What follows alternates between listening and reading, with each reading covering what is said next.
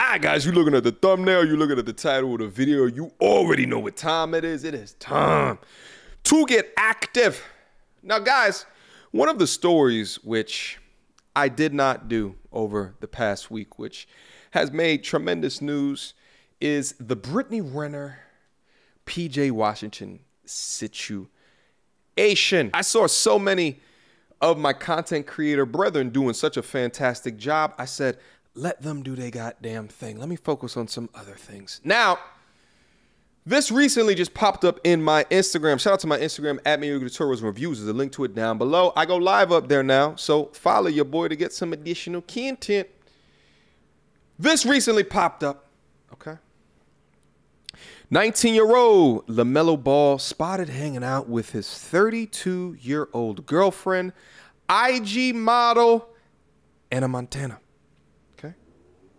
Twitter praise to the basketball gods that the golden child Melo doesn't end up like PJ Washington. The first thing I thought of when I looked at this particular post, I said, switch the ages, there'd be an inherent issue and or problem like this. You have to switch ages and then also switch the value of profession. Meaning, let's say it was a young woman basketball star that the team was relying on not having his head messed up, drama initiated within his life, a baby, child support, all of those different things that can mess up the dynamic of a person and then mess up the dynamic of a team. And let's say it was a 32 year old man, okay? There'd be a lot, way more people that had a particular issue and or problem with this, but it is what it is. We live in a double standard society, okay? Now, I'll be honest, I didn't know who Ana Montana was, so I took a look at her Instagram to get the proper research that was needed. As you can see, by IG model, they mean exactly just that. Now, I have it on these just six couple of photos because these are the ones that I saw up there that had the most amount of clothing on her body, okay?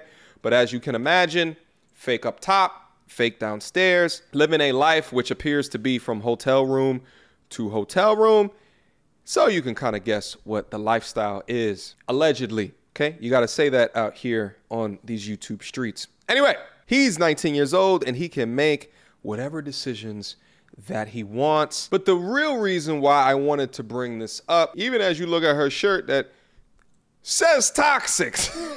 so you know why it is that she's there. But gents, this is a lesson and a lesson for all of us. And I want to try to get through to as many PJ Washingtons as I absolutely can.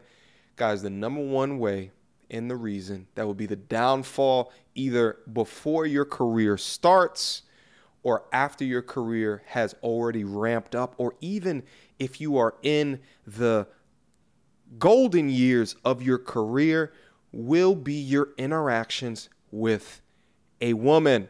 Keep this in mind. I've seen it happen too many times in my personal life and then also too many times out in mainstream media as well as hashtag Me Too has taken place and movement within our society. We know that the family court system is stacked up against us, and also the time, energy, and effort that it takes to maintain relations or relationships with these women can take you far outside in a way of your purpose. So please take note of that on your quest of happiness and joy in a successful life, making sure that all of the young women that you bring close into your space are there for a specific reason and or purpose and that they are low risk enough to never try to do the bullshit that would have happened to a PJ Washington and what I hope doesn't happen to a LaMelo Ball. When I look at content like this, in combination with the advice that I'm giving you guys, I think about my own life as well. If I had not concretely focused